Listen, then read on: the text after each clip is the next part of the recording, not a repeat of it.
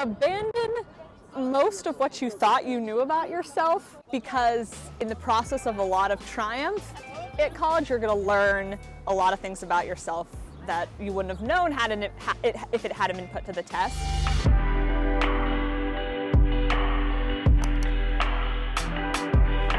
Pick a different school.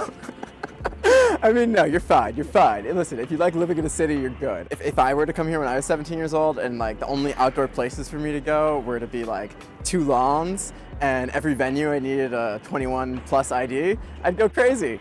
If you're a little more optimistic about it, I would say just to really explore your opportunities and not feel locked in to something that you feel like you need to do. It's really important to explore as much as you can in your freshman year because uh, that is when you will feel the most carefree. Because, I mean, there's a core curriculum here. There's so many required classes in like all sorts of fields. And that's really an opportunity for you to take those first two years here and just feel everything out. Like when I came here, I was like, I was came from a college where I was a computer science major. I started majoring in biochemistry here. Now I'm majoring in art and architecture. And that better be my last choice because, you know, college is too expensive.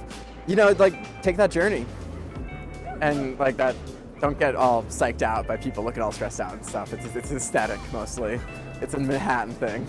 It's really hard to do, but you're gonna be a lot better off if you try to like chip away at your work a little bit every single day rather than leaving it all to the end. Maybe like learn to balance your time a little bit. It's kind of cliched advice, but like, and I definitely don't always follow that advice, but like the times when my mental health is the best are when I'm doing everything every day. It's really tempting to either spend all your time in the library or um, like go out all the time because it's New York and there's so much to do. Like I think just like treat school like a nine to five job. Like if you're if you're putting in like nine to five hours every day, like you should probably be pretty good. But you really just have to like learn to balance it quickly, otherwise you'll get really depressed and a lot of people have to leave for semesters. It's just like, it's a really intense place to be for a lot of reasons, just both the city and the school, so. Take a year off.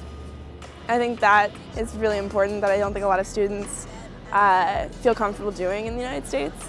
But almost everyone I talk to, you know, in their late 20s, postgraduate, maybe they're coming back to school for a second time, like will frequently say that they wish they would have taken time off and wish they would have had some time to kind of like cultivate interest outside of like this kind of like very secluded experience. For incoming freshmen, I'd say one of the most important things to do is to put yourself out there. Say hi to people. Uh, that's the, the, single biggest tip I have for any any college student. You don't have to be a freshman for that, but particularly as freshman year, don't be afraid to introduce yourself to new people, especially during like the first uh, few months. Like everyone's kind of getting to know each other. You'll make a bunch of acquaintances your first couple months. People are so desperate to have friends that they'll just introduce each other to everybody. Uh, you'll separate yourself from everybody else if you not only kind of like remember their name, but when you see them in passing, and there's that awkward moment when you're both sort of, you realize they're there, but you also realize that you could both act like you didn't see each other and go away. If you jump it and say, hey, and like wave to them, smile, it'll go the, a world of difference for how they think of you and what they perceive of you. That's what I, I've done since I got here, and it's served me really well. As well as just getting close to your peers, because you can't do this alone. We all need each other, and you're going to need your fellow classmates to be successful here. Join different clubs. Don't don't focus so much on academics. Don't stress too much about classes. It's not always about the work.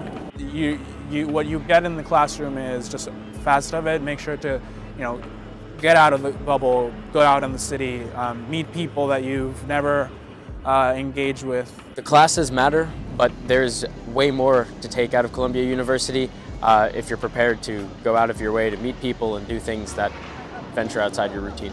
Also be sure to know that you know, there's a day after another, so don't worry about the present, so just keep focusing on what your goals are. It's something I learned in the Army. I'd say it's uh, everything's temporary. You know, your discomfort now is absolutely temporary, and it's going to be shorter than, than it seems in the moment, especially like the younger you are.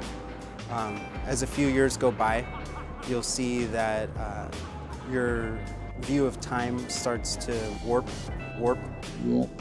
When you realize that everything is temporary, you all you have to do is push through it.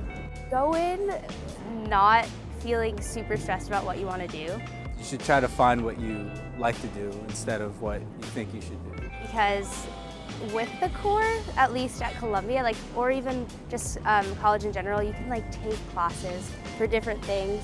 And I know like a lot of people who come in with it like very focused, they it's like either really good or really bad. Um, in like the sense that sometimes like being on like this track, you wouldn't do something that like you maybe would have liked. But so yeah, I went in with an open mind and I was like, I'll take a bunch of different classes. I like actually went in as a film major. And then I was like, no, I want to do art history. So I don't know, I think it's cool to just not be so narrow-minded. you have an you have an image of what college is going to be and like it's i'm not saying oh you're going to be disappointed by that but just stay open to changes from that ideal image. Stay open to like ends up you might feel homesick and it's okay. Like you might at the same time be very excited to be there. It might feel a little campy. Um, sorry NSOP is the orientation program so that's the acronym we call it. But i would just say like let it happen like don't have any expectations um, if you can i know it's very hard because like we've all like watched movies and seen tv shows like college is this big awesome thing and it is but um, just let whatever happens happen Uh, take classes that truly interest you and join clubs that are interesting to you also. Freshman year is great for exploring passions outside of academic work. Uh, so be involved in extracurricular activities, uh, activism, community service. Yeah, I think these are all uh, really good and it will be very fulfilling at the end of your freshman year. Budget. Like stay on top of your funds at all time. Every part of this city is designed to finesse you. So stay vigilant. Definitely want to budget. Um, definitely want to be safe and definitely want to study really, really, really hard um, and get the best grades you can and also apply the knowledge that you learn in class because I think it's one thing to study, but there's another thing to apply everything you learn and that's when you can really become a master. My advice is that study hard, but don't like beat up yourself too much. Try to relax, try to get, get enough sleep, try to make friends. Just don't be so stressed out. Don't take it so seriously. Number one, don't overwhelm yourself with classes because if you're coming from a high school, even if you do well, um, the curriculum here is very rigorous. It's very challenging. So if you were in AP classes and you took, or if you were in a community college or whatever, and you took six classes, you have 4.0 GPA, as I did, um, transitioning here, you're going to realize that the curriculum is much more challenging. So I'd recommend definitely forming a very good relationship with your advisor and seeing which classes that you could take at first to adapt to the curriculum.